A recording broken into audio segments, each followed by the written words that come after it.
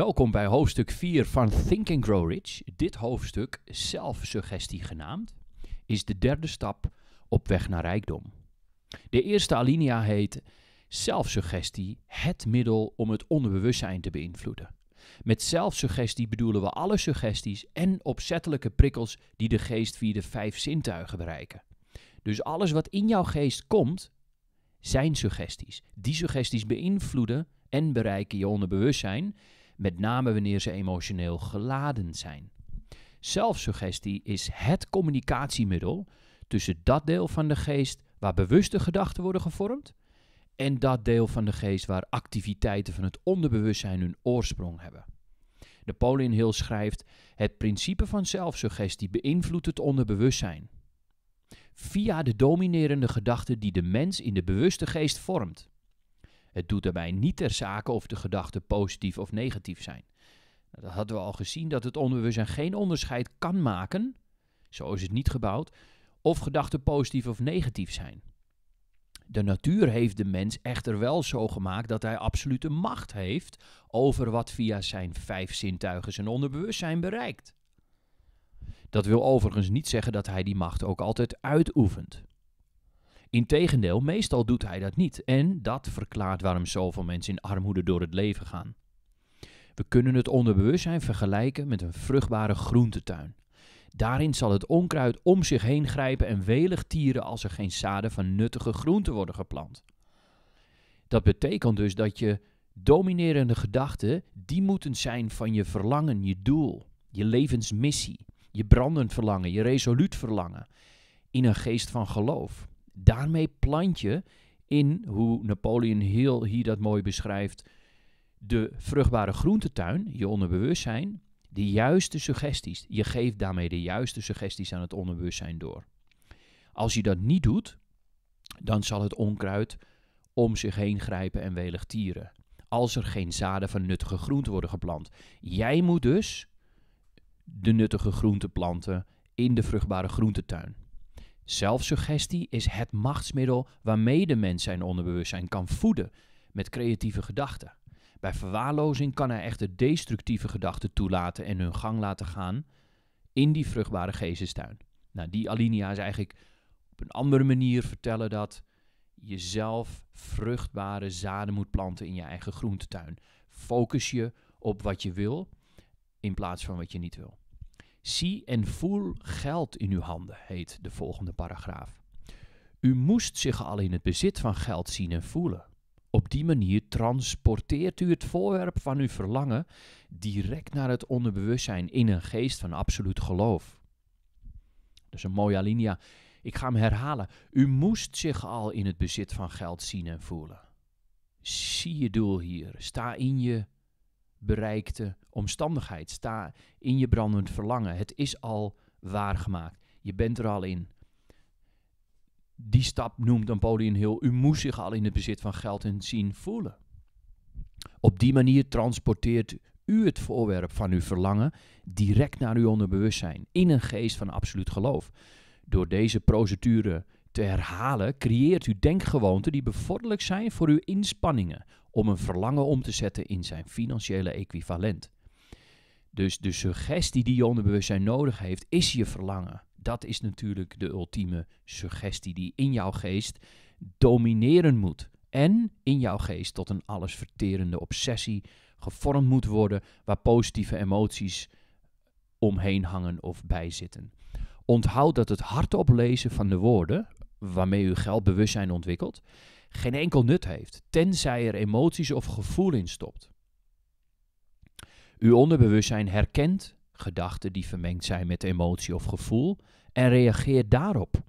Dat is zo belangrijk dat het in vrijwel elk hoofdstuk herhaald dient te worden, schrijft Napoleon heel hier. De meeste mensen die zelfsuggestie willen toepassen, boeken geen bevredigend resultaat omdat ze dat niet begrijpen. Dus onthoud dat het hardop lezen van de woorden geen enkel nut heeft, tenzij u er emoties of gevoel in stopt.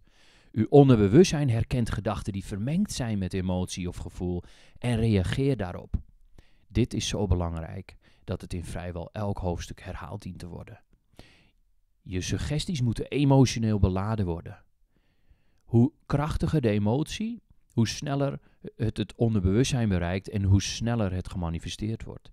De meeste mensen die zelfsuggestie willen toepassen, boeken geen bevredigend resultaat omdat ze dat niet begrijpen. Dus affirmaties op, oplezen, zeggen tegen jezelf hardop of zacht, zonder emotie, daarmee boek je dus geen bevredigend resultaat.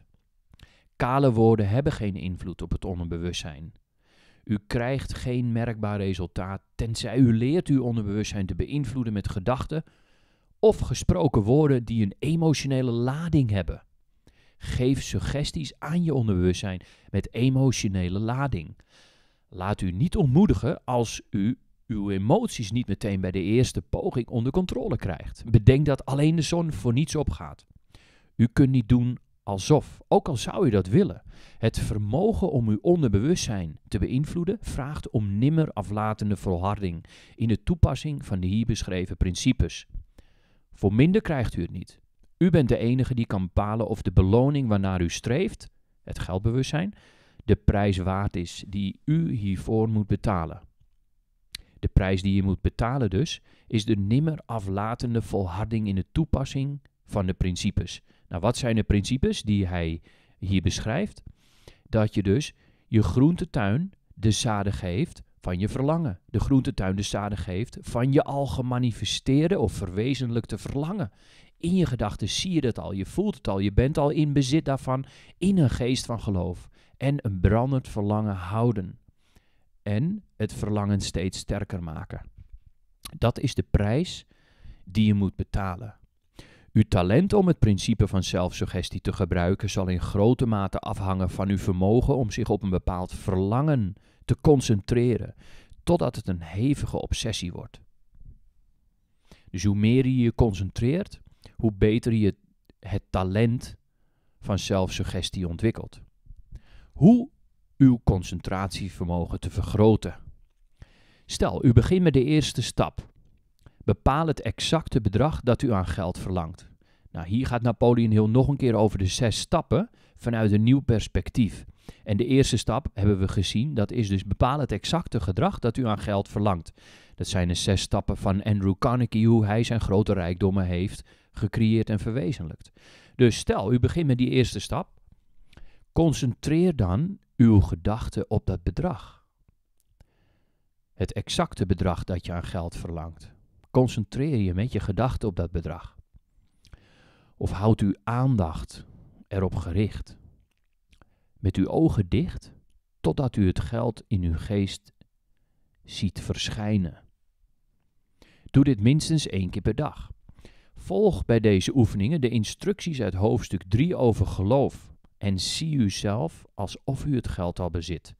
Hier geeft Napoleon Hill de instructies voor zelfsuggestie in je eigen geest dat nodig is om je onderbewustzijn te beïnvloeden. Bepaal het exacte bedrag dat u aan geld verlangt. Concentreer je met je gedachten op dat bedrag. Of houd uw aandacht erop gericht, met uw ogen dicht, totdat u in uw geest het geld ziet verschijnen.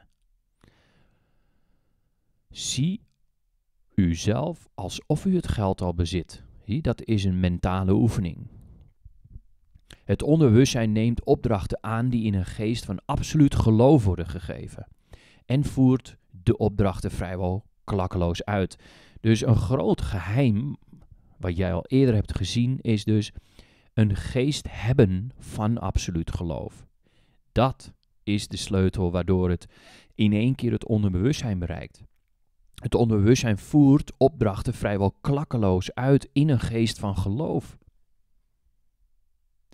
De opdrachten moeten vaak wel telkens opnieuw, keer op keer, opnieuw worden herhaald. Dat is zelfsuggestie. Het suggereren aan jezelf, in je geest, in een geest van geloof, dat hetgene wat jij verlangt, dat je dat al hebt, ziet en voelt. U kunt in dit verband om volkomen legale truc op uw onderbewustzijn toepassen door het te laten geloven omdat u het gelooft. Dat u het verlangde geld echt nodig heeft, dat het geld al op u ligt te wachten en dat het onderbewustzijn praktische plannen voor u moet smeden om het geld dat u toehoort te verwerven. Geef de gedachte uit de vorige alinea door aan uw verbeelding. En zie wat voor praktische plannen zij maakt voor het verwerven van geld. Dus één stap terug. Napoleon Hill schrijft hier bij zelfsuggestie. Kunt u een volkomen legale truc op uw onderbewustzijn toepassen door het te laten geloven, omdat u het gelooft, dat u het verlangde geld echt nodig heeft, dat het geld al op u ligt te wachten, dat het onderbewustzijn praktische plannen voor u moet smeden om het geld dat u toehoort te verwerven. Dat is de geesteshouding. Ik zie al dat ik het heb. Jij bezit het al. Jij bezit het al. Geef de gedachte uit deze alinea door aan je verbeelding. Je verbeelding gaat ervoor zorgen dat je onderbewustzijn jou de plannen geeft, zie je? Dat bedoelt hij.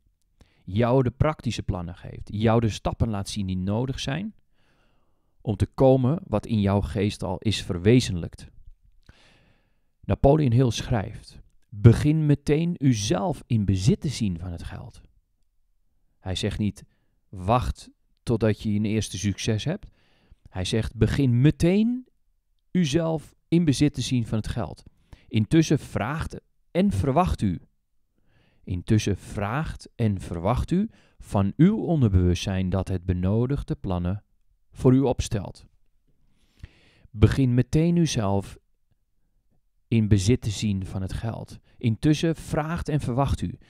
Dus je ziet jezelf nu al in je mind, in je geest, in bezit van het geld, of je doel of je verlangen. Intussen, op hetzelfde moment, vraag en verwacht je van je onderbewustzijn dat het jou de benodigde plannen geeft of voor je opstelt deze kunnen ook later komen. Blijf in die geest van geloof. Blijf je concentreren op je verlangen. Wees waakzaam en voer de plannen onmiddellijk uit op het moment dat u ze krijgt. Dus je krijgt plannen van je onbewustzijn. Voer ze onmiddellijk uit op het moment dat je ze krijgt. De plannen zullen waarschijnlijk via uw zesde zintuig uw geest binnenflitsen. In de vorm van een ingeving. Behandel ze met respect en voer ze zo snel mogelijk uit. De plannen zullen waarschijnlijk via uw zesde zintuig uw geest binnenflitsen in de vorm van een ingeving. Behandel ze met respect en voer ze zo snel mogelijk uit. Je ziet jezelf al in het bezit van geld. Je onderbewustzijn, je hebt die verwachting en je vraagt dat, geeft jou de plannen die nodig zijn, de acties die nodig zijn, zodat je komt van waar jij jezelf al ziet in je geest. Via je zesde zintuig krijg jij flitsen binnen, ingevingen binnen, die je met respect moet behandelen en zo snel mogelijk uit moet voeren. Daar zie je dus dat je onderbewustzijn geeft jou de plannen als reactie op jouw geest van geloof en jouw geesteshouding, waarin jij al jezelf in het bezit ziet van wat jij wenst en nodig hebt. Bij de vierde en bij de vierde van de zes stappen kreeg u de instructie: stel een duidelijk plan op om uw verlangen te verwezenlijken. En begin dit plan meteen uit te voeren. hier refereert Napoleon heel weer aan de zes stappen van Andrew Carnegie. Bij de vierde van de zes stappen kreeg u de instructie: stel een duidelijk plan op om uw verlangen te verwezenlijken. En begin dit plan meteen uit te voeren. U dient die instructie op te volgen zoals in de vorige alinea is beschreven. Dat betekent, zie jezelf in bezit van het geld of je doel is al bereikt. En wacht op de flitsen, ingevingen, ideeën, inspiraties die jij krijgt als reactie op die geesteshouding.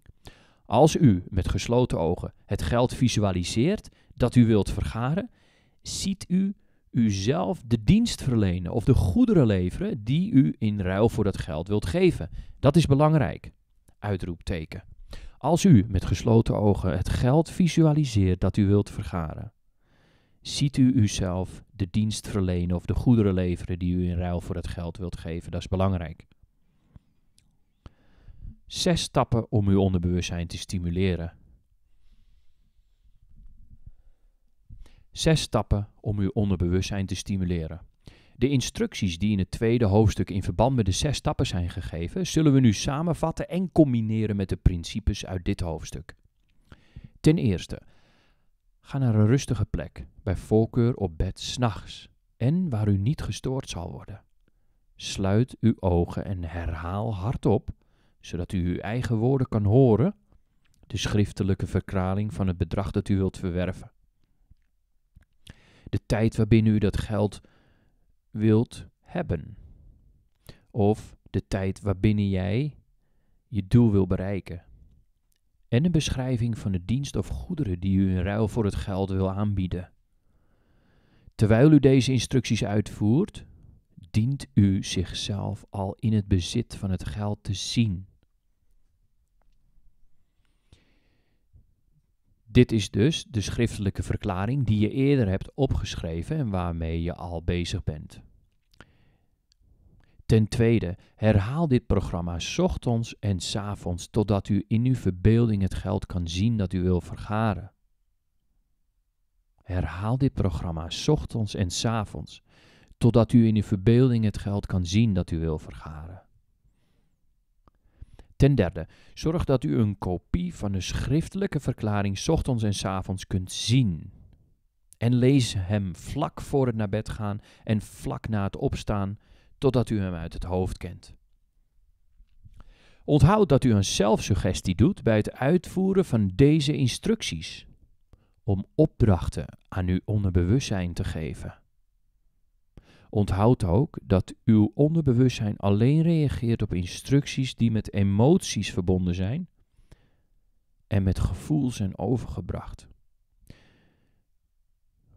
Hoe jij de zelfsuggesties doet en hoe jij de suggesties geeft, is van essentieel belang. Geloof is de sterkste en productiefste emotie.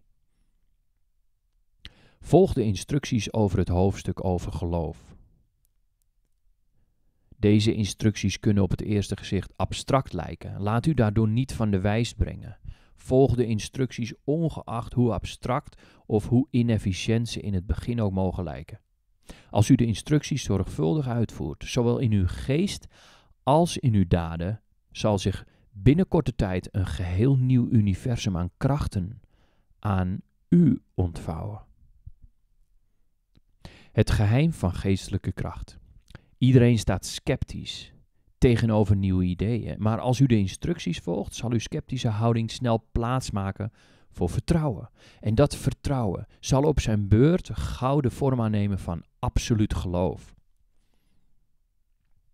Veel filosofen hebben beweerd dat de mens meester is over zijn eigen aardse lot.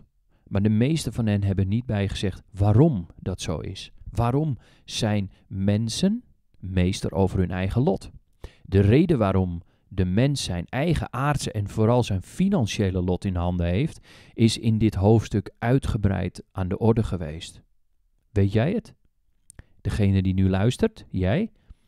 Wat is de reden waarom de mens zijn aardse lot daar meester over is en over zijn financiële lot? De mens kan meester over zichzelf en zijn omgeving worden, omdat hij zijn eigen onderbewustzijn kan beïnvloeden. Omdat jij je eigen onderbewustzijn kan beïnvloeden, betekent dat jij meester kan zijn over je eigen aardse lot en over je financiële lot. Voor de omzetting van verlangen in geld dient u zelfsuggestie te gebruiken. Ten einde uw onderbewustzijn te bereiken en te beïnvloeden. Als u dit boek uit heeft, zou u dit hoofdstuk weer moeten opslaan. En volgende instructie in geest en daad moeten uitvoeren. Lees het hele hoofdstuk elke avond een keer hardop, totdat u er volledig van overtuigd raakt dat het principe van zelfsuggestie werkt. En dat het alles wat ervan beweerd wordt ook echt voor u werkt. Onderstreep tijdens het lezen elke zin die u in het bijzonder opvalt. Volg deze instructies precies op. Het zal voor u de weg openen naar volledig begrip en meesterschap over de principes van succes.